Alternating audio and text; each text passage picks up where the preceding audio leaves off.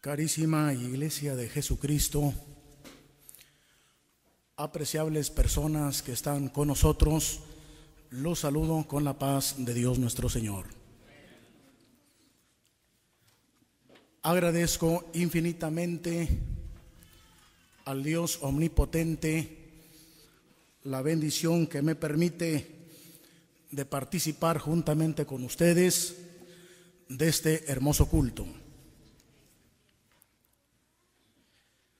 Y antes de exponer el mensaje de la bendita palabra de Dios nuestro Señor, me dispongo a entregar a ustedes un saludo fraternal que envía nuestro hermano Moisés Ramírez Pérez, presidente general de nuestra iglesia, y los demás integrantes del directivo general, me hicieron portador de un saludo para todos ustedes. Recíbanlo como una prenda de paz y de amor de parte de nuestros hermanos para todos ustedes. Pueden sentarse.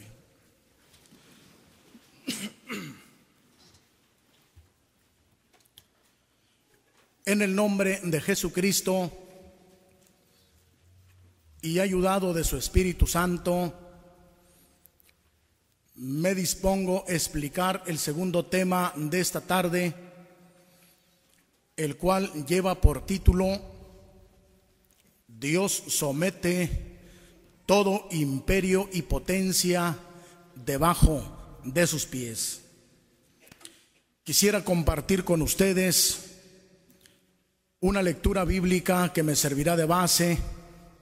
Quiero invitarles a que de pie leamos en Primera los Corintios capítulo 15 los versículos 24 al 28 y que lo hagamos de una forma alternada.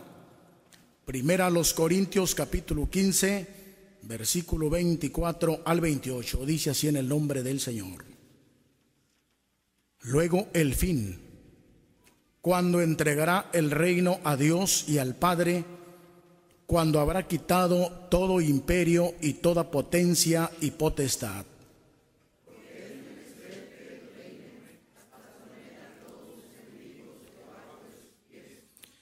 Y el postrer enemigo que será deshecho será la muerte.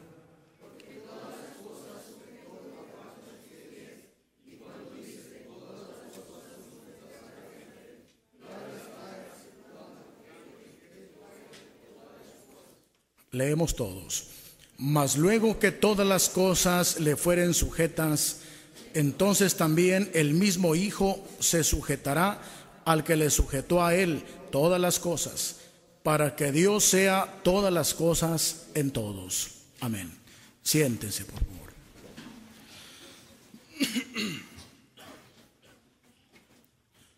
Dios somete todo imperio y toda potencia debajo de sus pies. Someter es sujetar, dominar, vencer. Imperio es poder tirano y dominador. Mis amados hermanos, surgen muchas preguntas en el mundo y en ocasiones en nosotros mismos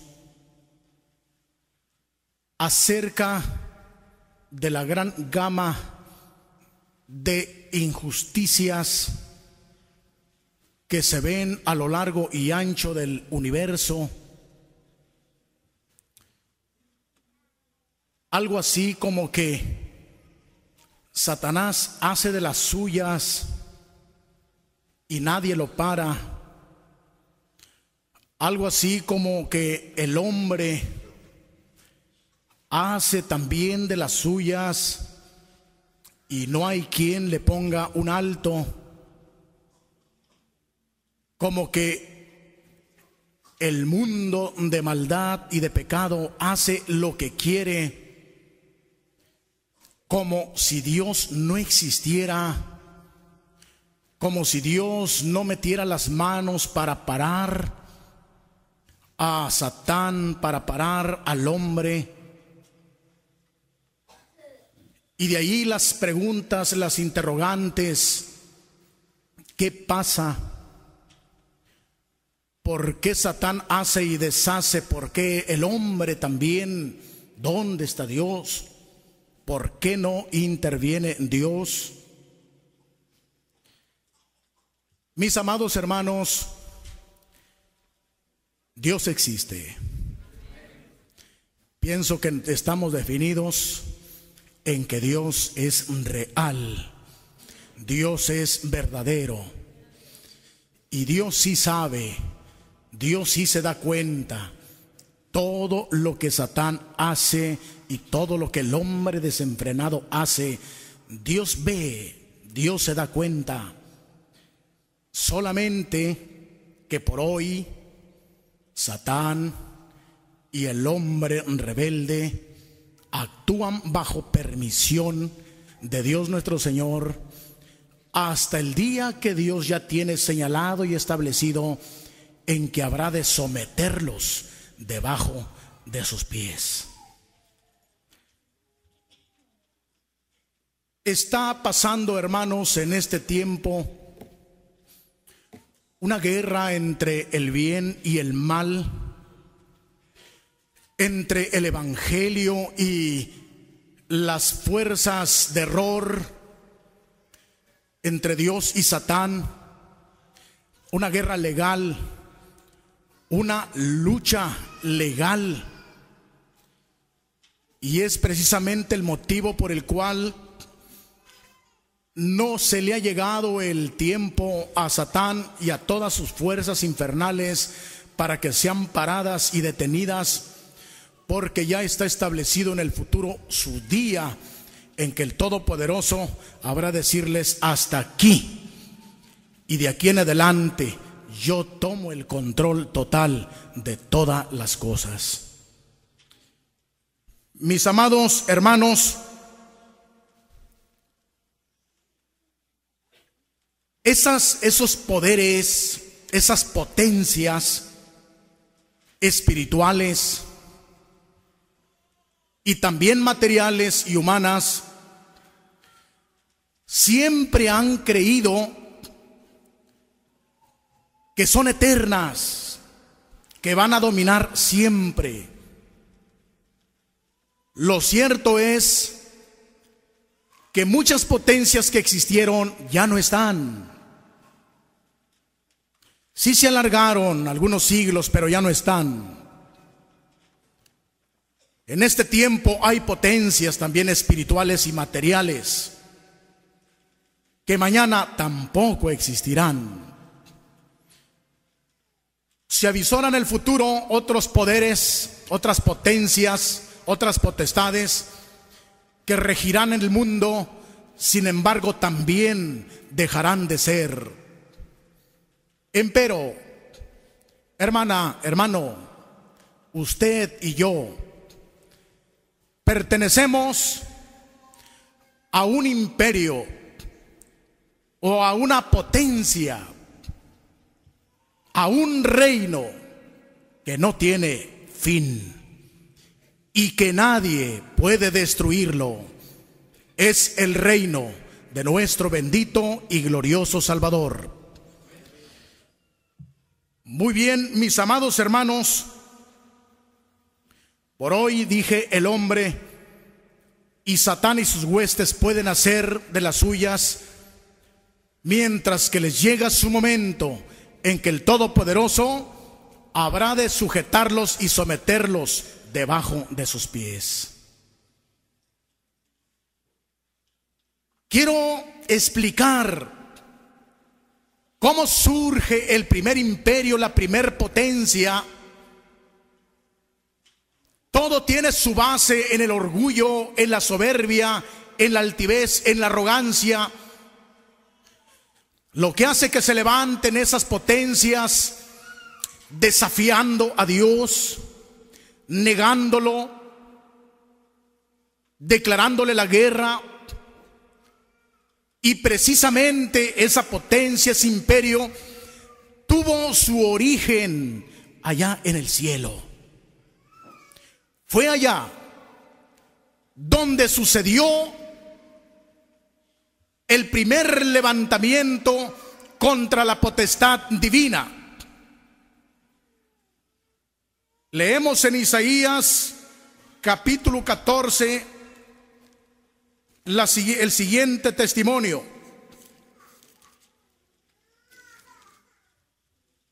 Isaías 14, 12 dice la escritura así. ¿Cómo caíste del cielo, oh lucero, hijo de la mañana? Cortado fuiste por tierra, tú que debilitaba las gentes, tú que decías en tu corazón, subiré al cielo, en lo alto, junto a las estrellas de Dios ensalzaré mi solio, y en el monte del testimonio me sentaré a los lados del aquilón, sobre las alturas de las nubes subiré y seré semejante al Altísimo. Mas tú derribado eres en el sepulcro a los lados de la huesa. Amén. Se hace referencia a una estrella, se hace referencia a un ángel, que fue creado allá en el cielo, perfecto, hermoso, sabio. Sin embargo, al ver estas cualidades en él, pensó, no soy menos que Dios, soy igual que él, y me levantaré y me sentaré en su trono y seré semejante al Altísimo. Algo similar expresa el profeta Ezequiel en su capítulo 28, dice lo siguiente. Ezequiel capítulo 28, versículo 13. En Edén, en el huerto de Dios estuviste. Toda piedra preciosa fue tu vestidura, el sardio, topacio, diamante, crisólito, onique y berilo, el zafiro, carbunclo y esmeralda, y oro, los primores de tus tamboriles y pífanos estuvieron apercibidos para ti en el día de tu creación. Tú, querubín grande cubridor, y yo te puse, en el santo monte de Dios estuviste, en medio de piedras de fuego has andado. Perfecto eras en todos tus caminos, desde el día que fuiste creado hasta que se halló en ti maldad. A causa de la multitud de tu contratación, fuiste lleno de iniquidad y pecaste. Por lo que yo te eché del monte de Dios y te arrojé de entre las piedras del fuego, oh querubín cubridor. Enaltecióse tu corazón a causa de tu hermosura, corrompiste tu sabiduría a causa de tu resplandor. Yo te arrojaré por tierra, delante de los reyes te pondré para que miren en ti. Con la multitud de tus maldades y con la iniquidad de tu contratación, ensuciaste tu santuario. Yo pues saqué fuego de en medio de ti, el cual te consumió y y púsete en ceniza sobre la tierra a los ojos de todos los que te miran. Amén. En referencia a ese ángel caído, ese ángel fue criado, hermanos, un día especial. Hubo música el día de su creación. Fue puesto en un lugar especial allá en las alturas, en piedras de fuego. Fue vestido de todas piedras preciosas. Era el ángel más simpático. La Biblia dice que era perfecto, era hermoso, era sabio. Pero a causa de su hermosura y de su sabiduría, se corrompió y se ensució su perfección porque se subleva contra Dios nuestro Señor para derrocarlo y sentarse en el trono de Dios esto lo explica más el Espíritu Santo en Apocalipsis capítulo 12, versículo 7. Dice la escritura así acerca de la gran batalla allá en el cielo. Y fue hecha una grande batalla en el cielo. Miguel y sus ángeles lidiaban contra el dragón y lidiaba el dragón y sus ángeles y no prevalecieron ni su lugar fue más hallado en el cielo y fue lanzado fuera aquel gran dragón, la serpiente antigua que se llama Diablo y Satanás, el cual engaña a todo el mundo. Fue arrojado en tierra y sus ángeles fueron arrojados con él. Allá arriba, hermanos, era llamado querubín, grande cubridor, estrella de la mañana, era perfecto, era un ángel esplendoroso, glorioso, pero a causa de su soberbia que subió a su corazón, su altivez, y sintiéndose ser igual a Dios, trabaja a la tercera parte de los ángeles, les inyecta el veneno de la rebelión, comparten con él la suerte, Dios descubre el complot de ese ángel rebelde y Dios le ordena a Miguel, un ángel leal y le dice, organiza los ángeles leales contra el dragón. A partir de allí ya ostenta el nombre de dragón, serpiente antigua o Satanás. Se suscita una batalla grande en el cielo. Miguel y sus ángeles contra el dragón y sus ángeles. Y estos últimos no prevalecieron. Porque en una batalla siempre uno sale ganando y otro sale perdiendo. Y en este caso, Dios gana, Dios vence, porque Dios es Dios de dioses, Rey de reyes y Señor de señores. De esa manera, hermanos míos, ese espíritu ya infernal, juntamente con sus huestes, es arrojado, es echado del cielo a tierra y establece en la tierra su cuartel general y desde entonces a la luz de la Biblia escuchamos decir a Satán que todos los reinos del mundo y de la tierra son de él.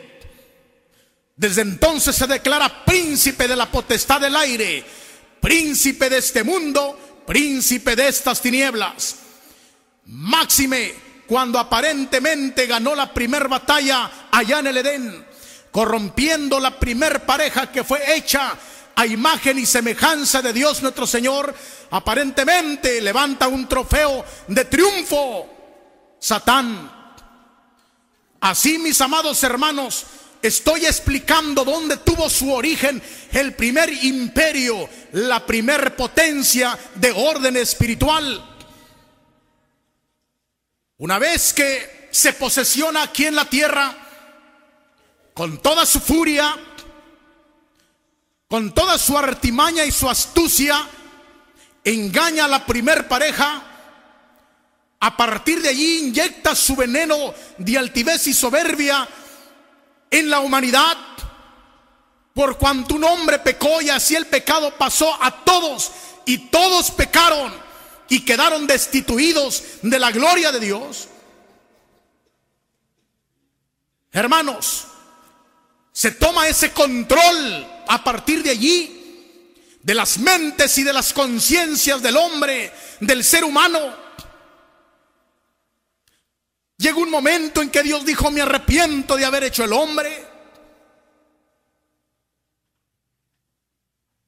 Prevalece otro imperio, el imperio del pecado y de la muerte. Cuando Adán y Eva fracasaron, hermanos, ahí surge el imperio del pecado y de la muerte. El pecado pasó a todos. Y la muerte pasó a todos. ¿Quién escapa a la muerte? Está establecido a los hombres que todos mueran una vez. La muerte es una fenómena a la cual todos tenemos que rendirle cuentas en el orden material, en el orden físico y en el orden espiritual. El pecado entró por uno y así pasó a todos. El pecado es un imperio, hermanos, a tal grado que ha cautivado las mentes y la voluntad del hombre desde el Edén, a tal grado que el hombre queriendo ser bueno, no puede. Queriendo librarse y hacer el bien, no puede. Hay una fuerza, una potencia más grande que su voluntad, que lo sujeta y lo lleva cautivo. Es el imperio del pecado. El pecado siendo engendrado, pare la muerte. que es el distanciamiento del hombre con Dios. Lo que San Pablo llama que el hombre viviendo está muerto en delitos y pecados. Ese estado en que el hombre y la humanidad está sujeto bajo el imperio del pecado y por ende de la muerte, no deja contento a Dios. No está contento el Señor al ver que la humanidad, que fue creada para lo honor de Él, ahora está bajo servicio de Satán, dominada por el pecado. En los cielos se hacen gestiones para liberar al hombre, para liberarlo, para salvarlo. Allá se mueven los planes de Dios. Se mueve, se gesta en la mente de Dios planes donde Dios con energía dice, oh muerte, yo seré tu muerte. Sí, oh sepulcro, yo seré tu destrucción. Cristo vendría a asestar un golpe al pecado y a la muerte. Mis amados y queridos hermanos, en el tiempo de los patriarcas, se matan animalitos cuya sangre serviría para expiar los pecados del pueblo y hacer la reconciliación. Sin embargo, llegó el momento en que aquella sangre de toros y de machos cabríos no tenían la capacidad y suficiencia para reconciliar al hombre con Dios. Satanás se reía que él seguía dominando. Sin embargo, aparece en el escenario de la vida humana Cristo Jesús, Señor nuestro, naciendo de una forma tan sencilla en la aldea de Betlem, tal como se recuerda el día 24, cuando se habla del nacimiento de nuestro Señor Jesucristo, apareció. Y Satán se asusta, se espanta ante el nacimiento de Cristo Jesús. ¿Sabe que la presencia de Cristo Jesús en este mundo significaba una batalla mortal.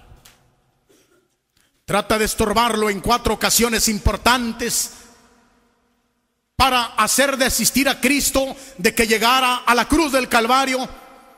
Recién nacido, Herodes manda matar a todos los niños de dos años para abajo. Recién bautizado, es tentado Jesús en el desierto. Cumplidos tres años de ministerio, determina subir a Jerusalén y ser muerto. Y Pedro le dice, no subas, maestro, te espera la muerte, ¿para qué vas?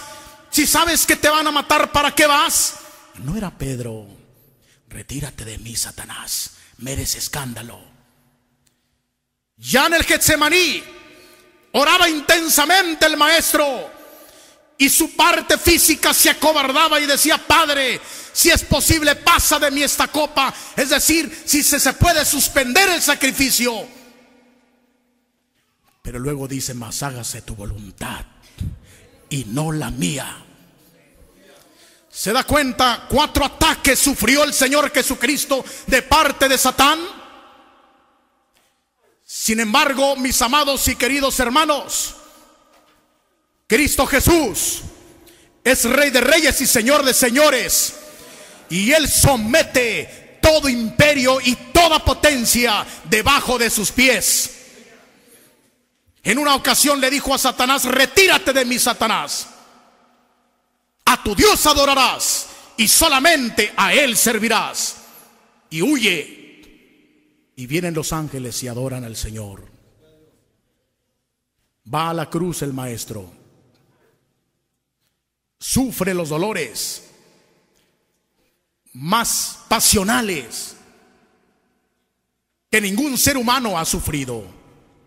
Usted y yo teníamos que estar colgados ahí crucificados, pero Él tomó nuestro lugar. Satán temblaba porque sabía que Jesús en la cruz iba a darle un golpe mortal al imperio del pecado y de la muerte. Cuando Jesús expira, todos sabemos que la naturaleza se puso de luto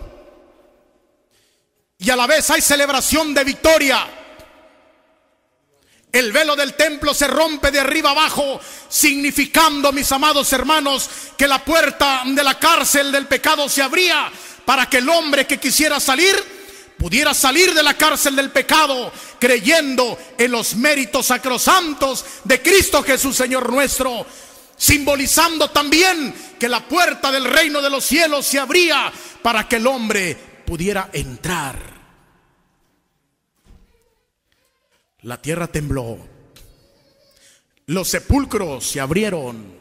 Algunos justos resucitaron. El sol se oscureció.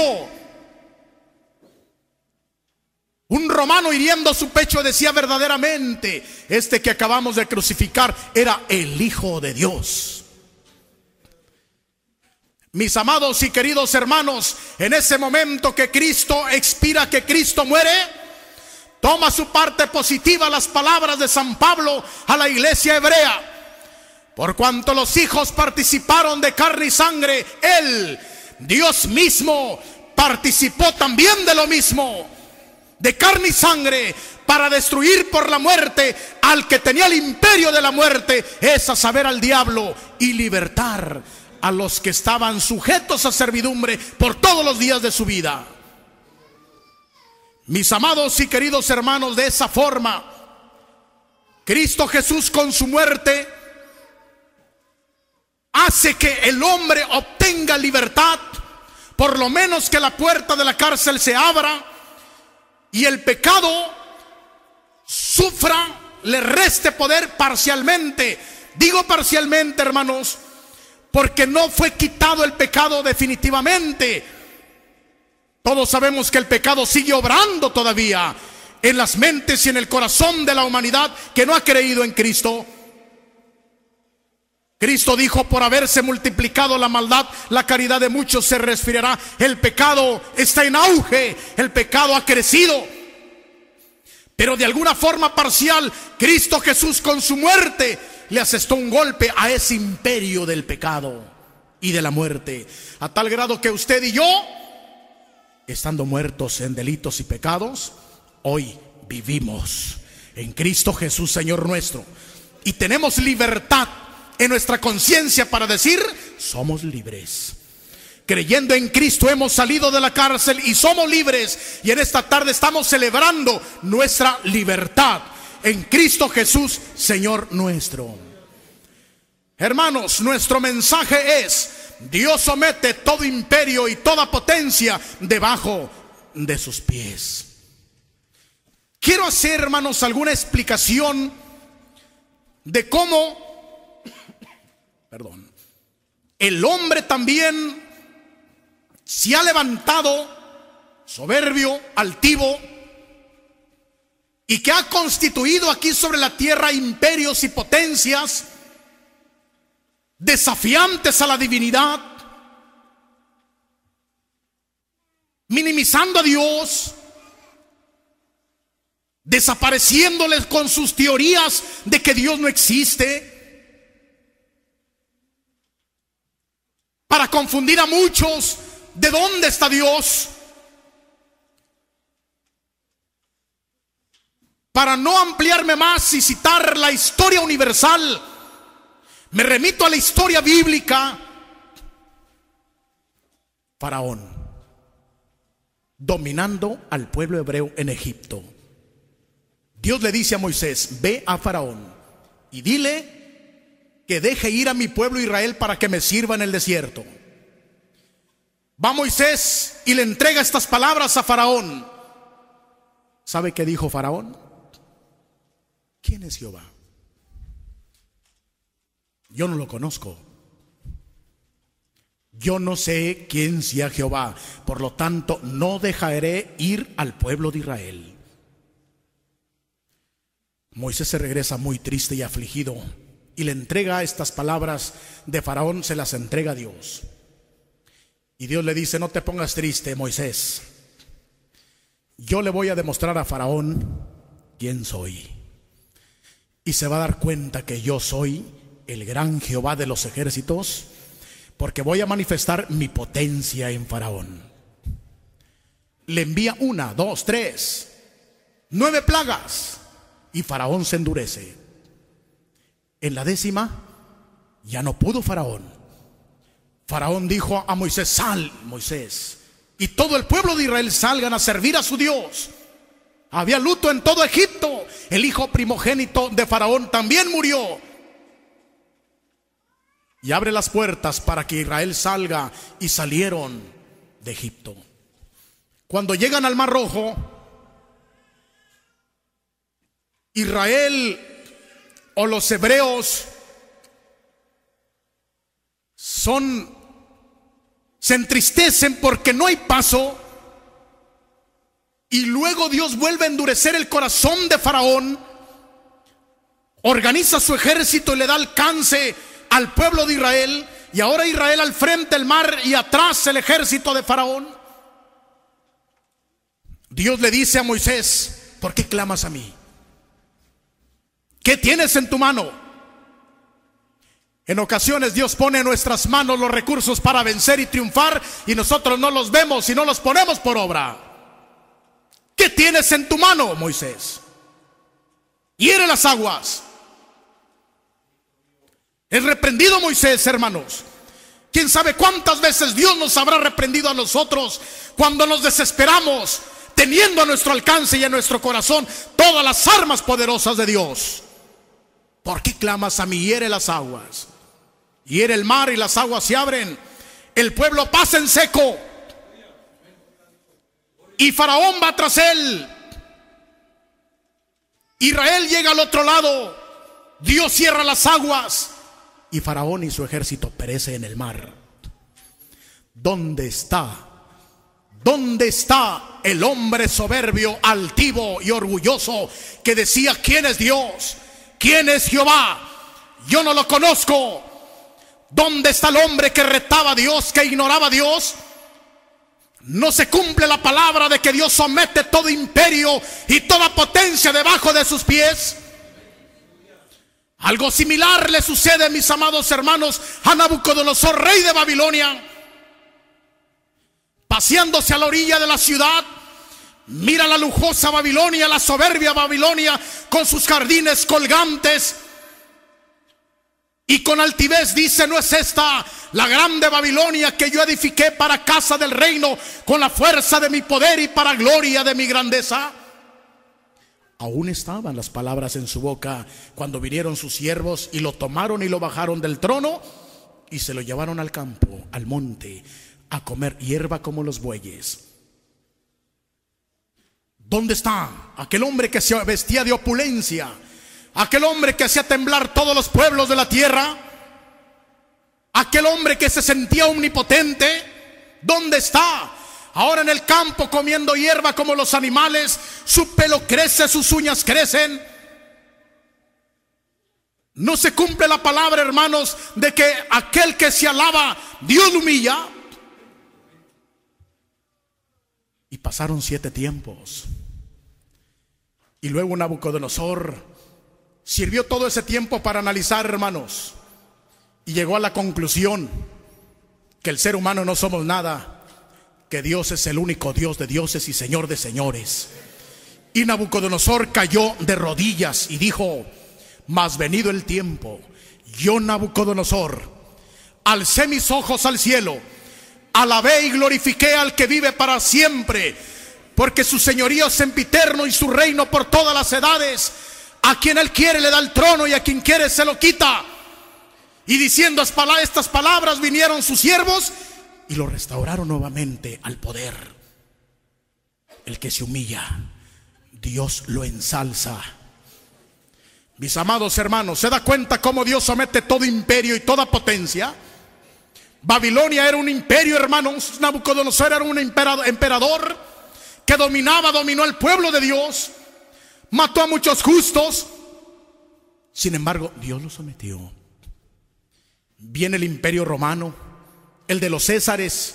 En los días del Señor, del nacimiento del Señor Jesucristo, dominaban los Césares. Y también hicieron de las suyas, incendiaron Jerusalén, el templo de Dios, la ciudad de Dios. Muchos judíos murieron, muchos cristianos murieron. nace la diáspora, la dispersión de los judíos para todo el mundo, pidiendo asilo al mundo hasta el día de hoy. Le metió fuego en el año 70. Sin embargo, también desaparecieron los césares. Ese imperio también desapareció. Estoy hablando, mis amados hermanos, de los imperios humanos que se han levantado. No muy lejos de nuestros días se levantaron otros imperios. El llamado comunista, arrasó el mundo.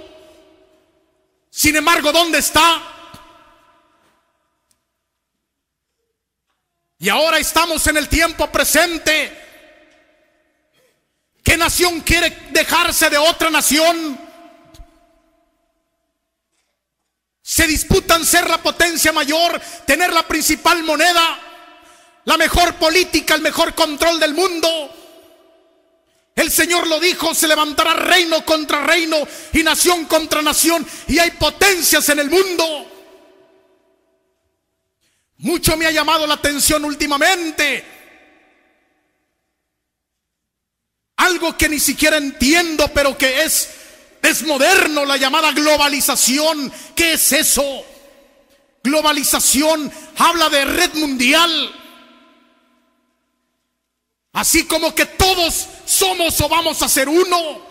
Una economía, una política, una religión. Un mundo igualitario. Los hombres líderes del mundo se reúnen en foros internacionales y los temas principales son el ataque a la desigualdad, acabar con la pobreza, que todos seamos uno en el mundo, que todos seamos felices. Y leyendo las sagradas escrituras encontramos, hermanos, que ese mundo impío, que está buscando un mundo de paz, un mundo de seguridad, lo va a lograr. Va a lograr un mundo de paz, donde no habrá, no habrá guerras. Un mundo de seguridad donde no habrá terrorismo. Cuando se haga presente en el escenario de esta vida una potencia que la Biblia define como el reinado de la bestia es un personaje superdotado que tomará el control total de todo, de todo, tanto político como económico y religioso, y unirá al mundo. Y el mundo disfrutará de paz. La paz que no hay ahorita, tendrá el mundo paz. Tendrá seguridad. Ya no habrá temor a Osama Bin Laden y a otros terroristas. Ese hombre superdotado va a traer esa seguridad, no a la iglesia, al mundo impío. Ese tiempo de paz y seguridad para el mundo será tiempo de terror para la iglesia del Señor Jesucristo. Porque nosotros no vamos con esa política, ni vamos de acuerdo con ese líder superdotado que va a unir al mundo. Es una potencia, es un poder que se va a levantar. Y todos aquellos que no quieran unirse a su forma de pensar serán perseguidos. Y esos somos usted y yo. Porque usted y yo pertenecemos a otro reino. Al reino de nuestro Señor y Salvador Jesucristo. tiempo difícil, tiempo difícil, pero yo también tengo esta fe, hermanos que en ese tiempo difícil para la iglesia, el Señor nos va a aumentar la fe. Nos va a dar una fe superior a la que tenemos ahorita. Ahorita lo mejor tenemos una fe fluctuante, que un dolor de cabeza nos anda moviendo, que alguien que nos dice algo ya nos anda moviendo. En aquel tiempo el Señor nos va a aumentar la fe, porque dice la Biblia que juntamente con la prueba, aleluya, nos dará la salida nos va a dar fe suficiente para poder decir, aquí está mi cuerpo, si quieren mutilarlo, partirlo, hagan de él lo que quieran, pero dejar a mi Cristo jamás. Me muero con Cristo. Me muero en la iglesia evangélica cristiana espiritual. Jamás renunciaré a esta fe que he adoptado. Bien es cierto que será un tiempo difícil y adverso, mis amados y queridos hermanos, pero no se olvide que nosotros somos aliados del Rey de Reyes y del Señor de Señores. Sí, aquel que someterá todo imperio y potencia debajo de sus pies. La bestia o ese líder mundial solamente gobernará por tres años y medio, mientras que su Dios, mientras que mi Dios reinará por los siglos y para siempre. Mis amados y queridos hermanos, después de que concluye el reinado de la bestia, aparece Cristo Jesús en el cielo para llevarle a usted y a mí, a todo el pueblo del Señor, en ese momento con el resplandor de su venida y con el espíritu de su boca, lanzará la bestia al lago de fuego. y aquel mundo que celebraba y decían paz y seguridad, dice San Pablo, he aquí, destrucción de repente que jamás será olvidada y el mundo tendrá dolor como lo tiene la mujer que está de parto. Tres años y medio celebrarán paz y seguridad y bonanza, no habrá pobreza. Pero cuando su líder se ha lanzado al lago de fuego, quedarán huérfanos cuando digan paz y seguridad, he aquí destrucción repentina. Se quedarán sin su Dios. Mientras que usted y yo ya estamos con nuestro Dios allá en el cielo. Y luego Satán, el gran emperador de este mundo, será lanzado por mil años a un abismo. Será encadenado por mil años. Y el mundo no tendrá un Satán suelto y habrá paz no para las naciones, solamente para el pueblo de Israel. Israel disfrutará de paz y seguridad, porque no estará el demonio suelto, estará atado por mil años, y las naciones no disfrutarán de paz, serán redarguidas. Aquellas naciones que en este tiempo se les predica el Evangelio y no quieren tener a Dios en su noticia, rechazan el Evangelio, ellos se quedarán para ser juzgados por la iglesia del Señor. Nosotros juzgaremos al mundo, dice el apóstol San Pablo, por nuestra fe. No que dictemos sentencias, sino por nuestra fe. El mundo al darse cuenta que hay una iglesia triunfante en el cielo, se sentirán redarguidos por la fe de la iglesia. Cumplidos los mil años, Satán es suelto. Se entabla lo que la Biblia llama la guerra del Armagedón sale con furia, congrega a las naciones allá en Mejido o en el valle de Esdrailón en Jerusalén y cuando están a punto de lanzar la batalla contra el pueblo de Israel y Cristo Jesús que personalmente está reinando en Jerusalén, dice la Biblia que fuego del cielo desciende y consume las naciones. Y en ese momento Cristo le hace juicio a Satán y lo lanza al lago de fuego, donde está la bestia y el falso profeta. ¿Se da cuenta cómo Dios va sometiendo todo imperio y toda potencia debajo de sus pies? Ya no hay imperios humanos, ya no, ya no está Satanás, ya están echados al lago de fuego con la bestia. Ah, pero queda un imperio último, es la muerte.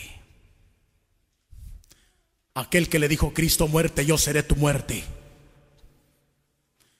Cristo le ordenará la muerte, dame los que tienes ahí guardados. Aquellos que no resucitaron en la primera resurrección, que se quedaron para la segunda, dice la Biblia que la muerte dará sus muertos, el sepulcro dará sus muertos y resucitarán. Y Cristo les hará juicio, el gran juez les hará juicio y los lanzará en el lago de fuego porque no se hayan escritos en el libro de la vida del Cordero. Y entonces San Pablo dice, y el postrer enemigo que será deshecho será la muerte. Entonces la Biblia dice que el infierno y la muerte serán lanzados al lago de fuego. Y ya no hay imperios, ya no tiene enemigos Dios. Ya todo lo sometió debajo de sus pies. Ya cumplió Dios sus planes, sus programas, sus propósitos de salvación, de redención. Ya sometió todo debajo de sus pies. Para que el cielo físico, para que la tierra, para que la mar. Es entonces cuando el universo físico no tiene razón de existir para que tome su parte positiva las palabras de Pedro, los elementos ardiendo serán deshechos, se fundirán y desaparece el universo.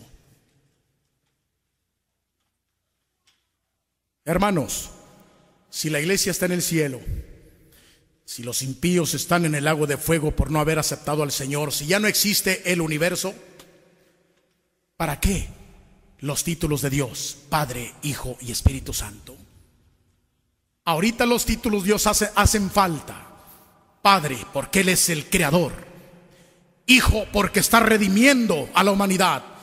Y Espíritu Santo, porque en esta tarde y siempre nos está consolando. En este tiempo hacen falta los títulos de Dios, los títulos de Padre, Hijo y Espíritu Santo. Pero una vez que todos los enemigos se han puesto debajo de sus pies, entonces toma su parte positiva. Mas luego que todas las cosas le fueren sujetas, entonces también el mismo Hijo se sujetará al que le sujetó a él todas las cosas para que Dios sea todas las cosas en todos. Entonces, así como antes de que el mundo existiera, era solamente Dios, después de que el mundo deje de existir, será Dios sobre todas las cosas. Ya no habrá necesidad de Padre, Hijo y Espíritu Santo. Dios sobre todas las cosas, mis amados y queridos hermanos. Y así Dios somete todo debajo de sus pies. El mismo Hijo, es decir, Dios mismo se reducirá a Él. Sus títulos se van a reducir al Dios que vive y reina para siempre. Para que se cumpla la palabra, vivo yo. Ahí festeja al Dios omnipotente. Vivo yo, dice el Señor, que ante mí se doblará toda rodilla. Aleluya. De las cosas que están arriba, de las que están en la tierra y debajo de la tierra porque Cristo Jesús será el Rey de Reyes y Señor de Señores. Dios bendiga y Dios guarde.